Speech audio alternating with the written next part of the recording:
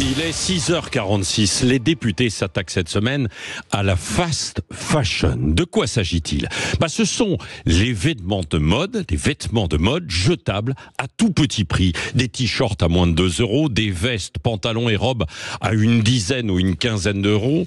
Dans le viseur, ce sont les enseignes et sites de commerce en ligne, euh, comme le chinois Shane, qui fait fureur auprès des jeunes, qui commandent sur Internet et sont livrés à domicile.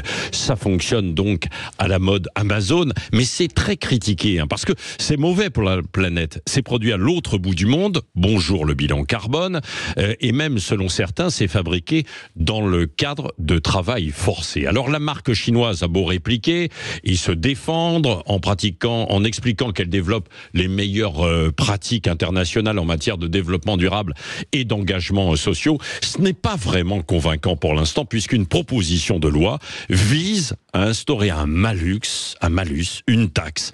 En tout cas, quels que soient les arguments, ça montre bien dans ce secteur, comme dans beaucoup d'autres, industrie, meubles, agriculture, que la mondialisation à outrance fait marcher le monde sur la tête. Pas de frontières, pas de respect des règles. Et aujourd'hui, on est obligé de faire marche arrière. Alors il n'est jamais trop tard pour se poser et bien réfléchir avant d'ouvrir à tout va le grand commerce mondial. Il y a du bon, mais aussi du très mauvais. Il faudra regarder dans beaucoup d'autres secteurs. Il n'y a pas que, évidemment, ces vêtements euh, à bas prix, y compris par exemple nos nouvelles technologies.